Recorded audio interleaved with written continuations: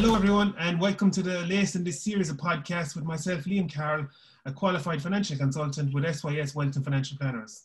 And the idea behind these podcasts is to meet experienced professionals, get nuggets of information from them, thus giving health to your wealth. And today I'm delighted to be joined by Paudie Ivess. And Paudie is the owner and lead physical therapist at Pain Relief Limerick. He set up the company in 2014 after working as a personal trainer since 2005. And Pain Relief Limerick currently employs three staff, including a clinic manager and two physios. They specialise in helping people return to doing the things they love pain free and without the need for regular GP visits or unnecessary medication or surgeries. And outside of work, Pod has a real passion for sport, playing, watching, and he also works as a team physio with several teams. And he's married to Linda with three kids. So, Paudie, thank you very much for taking the time out of your busy schedule to join us today. Very appreciative of it. Thanks, Liam.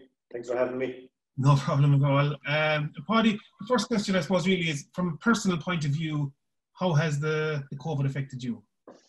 Um, I suppose in the end, kind of positively. Um, that at the start, I, I, was worried I was going to going from being busy at work to zero income overnight. Um, and I suppose the biggest thing I was worried about was uh, we are after buying a house, and we've like uh, three kids and a wife to keep happy, and keep fed. And I, I was worried I wouldn't be able to do that, but I suppose I, I quickly realised everyone's going to be in the same boat as I am, um, and I kind of took the positives out of it. Um, I spent a lot of time working on the new house. Um, I spent a lot of time with my kids, which I hadn't been doing before. I was every day of the week with them. My wife was still working part time um, at the start of it, so a lot of time with the kids. I spent a lot of time working on my fitness and health and uh, getting out and about and doing things. So I would say overall, positively, it affected me from a personal point of view. Um, you know, again, financially, it wasn't great, but that's not to be all and end all either, uh, which I quickly realised. Which I thought at first it was, but you know, what I got out of it was uh, money can't buy, you know. So I, I think overall it was a positive enough. I took the positives out of it. Yeah, it, it is what you make. It is what you make it, really, isn't it? And that's the yeah. important thing. And I suppose to follow on on that Paudie, um, from a professional point of view, how did the, the, the COVID affect you? Yeah, so again, uh, same thing. Like overnight, I went from being really busy to being shut down. Um, so I, I, was worried early on that I wouldn't be able to keep the business alive. Uh, I had some money put aside, but not enough if it lasted as long as it did, really. Um, and even outside of myself, trying to keep staff here, I was worried that I'd end up having to let them go and then start from scratch myself. So from kind of a, a, selfish point of view, I was thinking I'm kind of back to where I was two, three years ago. Um, but then looking at the, the lads that are working here, they would have been back looking for a job in probably the worst time ever to look for a job. Um, so I was worried about that, but it didn't happen. Um, I suppose the the one thing I say about the government is the with grants and things like that, they've kept businesses like me taking over, um, and it has helped. Uh, my landlord has been good to me as well, um, and so I had three months of no income whatsoever. Uh, we were completely shut down. Um, but once we started again, it was like nothing happened. Uh, we his first weekend was busier than the last week before I shut.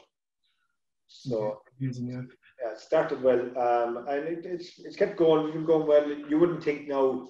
The only difference is the the likes of wearing a mask and things like that when we're treating, um, and wearing the uh, PPE is the only real change. Otherwise, it's as if nothing happened, which which is great. So at the moment, I'm doing well. I'm catching up uh, to where I was. So I had to borrow personal finances to keep it ticking over, but uh, we're, we're in a good place now. So there's no long term effects. I think short term it was just a little bit of worry, um, but again, like that, I've been as positive as I can about it. Yeah, no, no, that's um, that's very interesting, and um, I suppose probably just to go on to the next part of it, nuggets of information for people uh, coming out of the COVID that they can use from your experience. And I know you mentioned there about um, fitness and, and catching up with your children and things like that. Like, but any nuggets of information you'd have for people coming out of the COVID from your own experience? Hopefully coming um, up. so, uh, from a like business point of view, Yeah, business or personal, whichever you think, Paudie. Yeah. Yeah. So, um, like I suppose the I mentioned it there was the, the grants that the government are given. Um, that they've been a big help. So just to kind of it was to make sure you're availing of every grant that's available to you, um, because they are they're not all financial. They're not handing out money, but they're they're willing to pay for you to get support from the right places. Um, and I found it hugely helpful, and that's what's kept me ticking over. Um, and again, I suppose the, the biggest thing I take out of it is making a positive out of the whole situation. Um, uh, the, the, day I closed down, I was worried that, like I said, I'd have no money, I'd have nowhere to work, um, and I'm back to square one. Um, but the following day, I thought, you know what, everyone's going to be in the same boat soon, uh, and I took every positive I could, and I just just so take things in your stride and don't. Things will come round again for you, you know. Yeah, and I know, Paudie, from um, you're very active on social media, and we, I know we had a chat about this before, but as well, you did a lot of work, I think, on, on doing Zoom calls with people to try and help them out if they had an ailment during the period when you weren't allowed to meet them. And I think you were very, you were very proactive around that time as well, just to try and keep ahead of the posse, really, weren't you? Yeah. So I was lucky. Uh, it will say telehealth is what it kind of became known as, but um, online consultations. I was lucky from a point of, point of view. It's something I had been doing on a small scale. Okay. So I have um, I have clients that come to me from um, around the country. There's I have a couple of regular clients in Mayo and Wexford um, and Dublin, um, but I have clients in um, London, Brighton, Boston. Um, so they'll they'll come to me when they visit, and then I'll, if they need continuous treatment, um, they were doing online consultations with me. Um, so I had a little bit of experience in it, but it was still I was still a small bit overwhelmed by it when I started. Uh, so people were constantly ringing me for advice, and I said, you know what, I'll I'll open up my uh, video consults to everybody, and I started doing that. And was a bit slow taking off, but um, and again, I was a bit overwhelmed myself at first, but became comfortable with it, and people were, were seeing the benefits, which was great. Um, I, I was some people I was treating that they ended up with the same amount of treatments over video call as I would have expected them to have in the clinic. I think it's a it's a fantastic credit to Paudie because in your occupation as um, as a physical therapist, it's nearly the occupation you think that you could no more do on Zoom or on Teams or anything like that. So it shows exactly. the power of being able to adapt. To, I suppose a crisis. I suppose is the want yeah. of it like and. Uh, it, it well, it's a big thing. A big thing in physio is uh, trying to. I was the research says to try and be less hands-on and more uh, productive going forward uh, with, with exercise and movement, which is something I'm big on as well.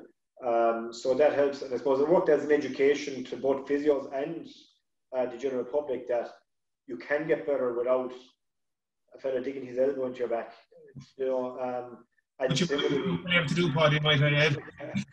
and similarly, if there was physios out there that were all hands-on, that then doing treatments and realizing, you know what, people can get better without that. Yeah. Um, just once they have the right guidance. So um, yeah, it's a learning curve for, for everybody, I think.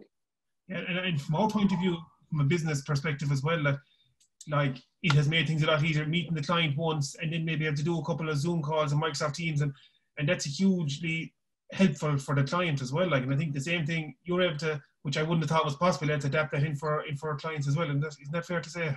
Exactly. I mean, if you're living a half an hour away and you have to drive into Limerick and find parking and come in for a treatment, have your treatment, drive home, you know, when you can cut out all that and just have your treatment at home. Uh, you know, you're cutting out everything in the middle that uh, it takes things, makes things twice as long. So you're saving time and making things more convenient for yourself. And money as well, to be fair. Exactly. Yeah. Um, in your industry, um, Paudie, is there any tip you could give to people that's totally underutilized by people or not understood and that you think could be a benefit to people? Well, I suppose first of all, what you just what we just spoke about is the fact that you can people can get better without you laying a hand on them, you know. Um, and obviously it helps sometimes, but uh, just to notice there. But I suppose one thing I'm I'm big on is when it comes to other physios. Uh, the one bit of advice I always give to people is don't see them as competition, see them as colleagues. Um, you know, so if you have if a physio opened next door to me, I wouldn't be worried he'd be taking all my clients. You know, I'd be willing to walk with him and say, or her, and say, look, uh, if there's two physios in one street, people would think there's more reason for physios. Um, but if, if you need a bit of help, uh, there's a great group, um, we have a WhatsApp group of physios there that we, we often keep in touch. Ask for advice if you're struggling with something, same with some Facebook groups. Um, and there's physios here in Limerick that I'd often phone up and say, look, I'm struggling with this. What do you recommend? And we help each other over and back. Um, you know, so uh, I, I can't fix absolutely everybody. Sometimes the person, the patient doesn't suit me, or I don't suit the patient, um, and I might say, look, maybe try seeing this girl or this guy, uh, and they might be better for you. Um, and just working that way together. Um, and I, I asked the, uh, another physio lately, what did he do for marketing to get people in the door? And he goes, geez, I'm not telling you. I guess I took his pages. Whereas I the same conversation, people ask me, I tell them, I tell them everything, you know. Um, because again, if, if you're educating the public better on the need for physio, they're more likely to take it up and tell their friends about it. So that's the one tip that I give is, you uh, treat your competitors as your colleagues, not your competitors. Yeah. I remember somebody said one day about their competitors, they're great, but I'm great as well. So yeah, exactly. It's the it's the way around it, yeah. Um, Paudie, I know from personal experience, I went to you a couple of times, and and I think I'm in the same network group as you, business network group as you, and um, one of your key points I'd always take is how, how quickly can I get rid of you?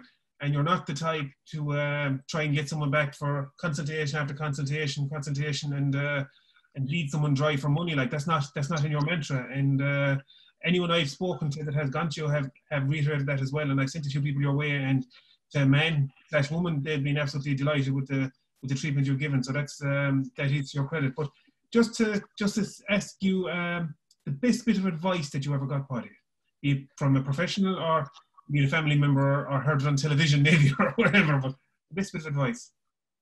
Um, I actually, funny enough, I was talking to someone about this a couple of days ago. Um, I was here at the clinic one day. I was at the time I was working on my own, um, and I was debating taking on staff. And someone someone said to me I should take on um, someone to work at front desk and do admin and receptionist before I take on a physio. And I didn't, I couldn't understand the idea because the physio could come in and treat people and make money Whereas an admin, I just saw as answer the phone and, and pay my money, and uh, you know, it's throwing money away is what it felt like to me. Um, but then I, I was outside the door one day, and there was fag butts and bits of leaves on the street, and I was sweeping them. And a man said to me, uh, I know him, know him well, and he he's walking past, and he said, "What are you doing out here?" And I said, "I'm just cleaning the street. I said, make the place look respectable." And um, he said, Are you not working? And I said, Yeah, but I have a bit of time off. And he said, You could pay a man, uh, a man or a woman, a tenner an hour to sweep the street for you if you go in.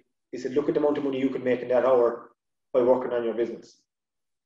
And I said, You know, that's a great piece of advice. And then I took that for hiring the receptionist. And I said, Right, I'll do that first because, like that, me ringing people and answering calls and doing my social media, all those things are taking so much time. Where if I had someone else doing that, I could then work on giving better uh, aftercare um, to people that are coming to me and working on letting people know where we are as well. So they kind of go hand in hand was, you know, let someone else do the jobs that you don't need to do and like that having someone on, on the front desk and people compliment uh, my front desk very well because she's very friendly. She's really good at what she does, and she makes you feel a lot more comfortable before you before you even get a treatment. Yeah, that, that's massive, and it, it there's a bit of empathy there, and uh, yeah. and all that. Yeah, and she's very good. I was in there a few times as well. Like so, yeah, without without a doubt. Paul, you've been very generous with your time. Um, thanks very much for taking the time to join us. And I suppose you're delighted this week. Kildimo Pallaskenry won the county intermediate hurling championship, so that was a, a big boost to the area. Yeah, yeah, it's nice to see some of the silver out the way anyway. So yeah, exactly. Paudie, thanks a million, and uh, we'll talk to you in the near future. All right, thanks, Liam. Thanks for having me.